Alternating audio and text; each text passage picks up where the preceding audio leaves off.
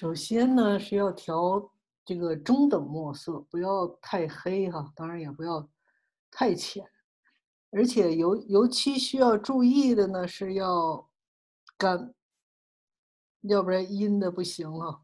所以呢，这个就先要拿那个纸巾呢，把这个墨多吸走一些。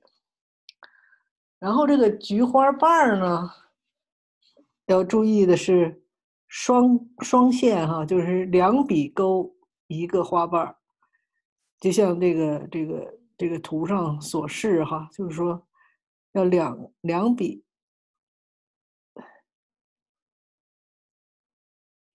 你要心中呢留着一个花花心、花蕊哈，就是不要那个给那画上。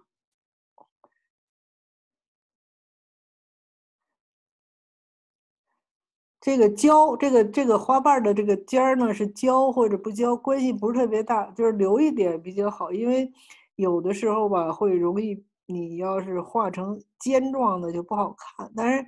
很难，有的时候呢，你也就也没什么办法，它就变成尖状了哈。但是尽量避免这个东西。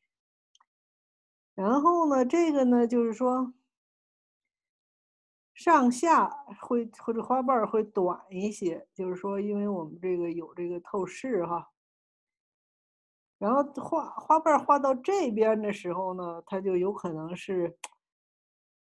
手不是很顺，所以就变成那个由里往外画，这个都可以了。我觉得这个关系不是特别大，所以呢，这样呢，它就是画出来一个花儿。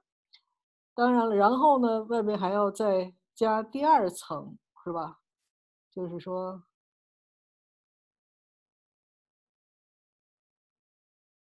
这是不是一层的花儿哈？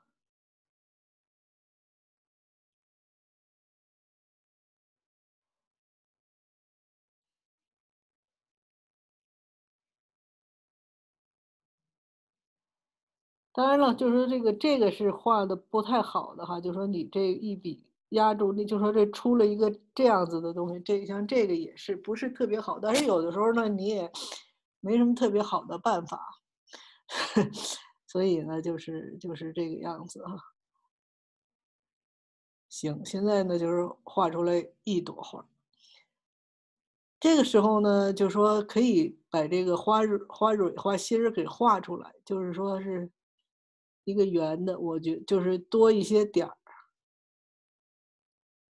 就是这个样子。好啊，然后呢，你再画下面的花儿哈，就是其他的花儿。